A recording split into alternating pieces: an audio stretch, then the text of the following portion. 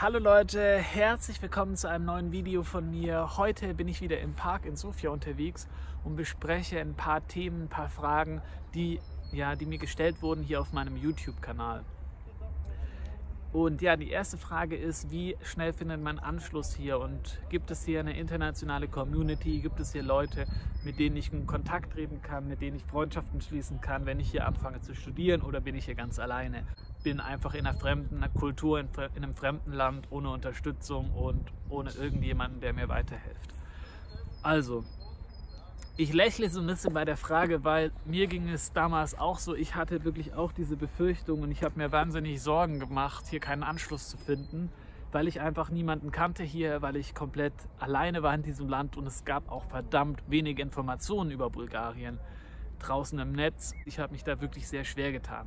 Deswegen mache ich auch meinen YouTube-Kanal, dass ihr wirklich einen guten Eindruck bekommt und wenn ihr hier studieren möchtet, dann findet ihr auf meinem Kanal wirklich wahnsinnig viele Informationen und Antworten, ähm, so wie diese hier auch in diesem Blog, in dem ich ja die Frage beantworte, wie das jetzt läuft hier mit dem Anschluss. Also Leute, es gibt hier eine wirklich sehr große internationale Community und ihr müsst euch keinen, keine Sorgen machen, hier einen Anschluss zu bekommen. Also bevor das Studium losgeht, fängt es schon mal an mit der Einführungswoche und mit Einführungsveranstaltungen, mit Partys, wo man sich schon mal kennenlernt. Dann ist es ja so, dass ihr nicht so anonym wie in Deutschland Humanmedizin studiert, sondern wirklich in Kleingruppen. Das heißt, ihr seid maximal zehn Personen nach den Vorgaben der Universität.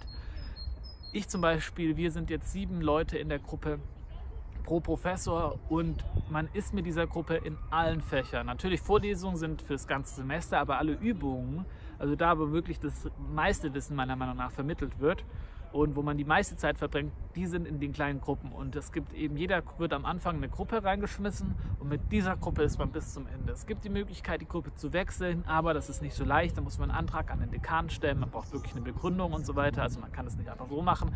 Weil wenn man jetzt irgendwie wirklich Probleme hat mit einer Gruppe, kann man die auch mal wechseln. Aber das passiert in den seltensten Fällen. Ich kenne nur zwei Leute von der ganzen Uni, die das gemacht haben und die anderen sind eben in ihrer Gruppe und ja, man ist da so wie in einer Familie zusammengeschweißt und allein allein dieses Umfeld ist wahnsinnig stabil. Aber natürlich gibt es noch wahnsinnig viele andere Möglichkeiten hier in Sofia an der Medical University. Zum Beispiel haben wir eben diese Associations, also es gibt quasi ganz viele Clubs oder Arbeitsgemeinschaften hier. Wir haben eine Studentenhilfsorganisation, Student Aid Drop heißt das. Und die helfen eben Flüchtlingen, die ist sehr aktiv und macht wirklich wahnsinnig tolle Arbeit. Ähm, dann gibt es die Asian Society, wo man traditionell asiatisch tanzen lernt. Es gibt die Tennis Society, wo gerade auch viele Deutsche sind, die einmal in der Woche Tennis spielen hier. Ja, verschiedene Sport- und Musik- und Tanzveranstaltungen. Man kann auch traditionell bulgarisch tanzen. Wird alles von internationalen Studenten organisiert. Wir sind ja mittlerweile an die 3000 internationale Studenten aus über 40 verschiedenen Ländern und äh, ungefähr 800 bis 1000 deutsche Studenten, schätze ich. Ich kenne selber nicht alle. Im Flughafen ähm, treffe ich immer mal wieder ein neues Gesicht und höre jemanden Deutsch reden oder über eine Klausur sprechen oder einen Professor, den ich kenne. Und ja, so lernt man sich teilweise dann auch im Flugzeug kennen.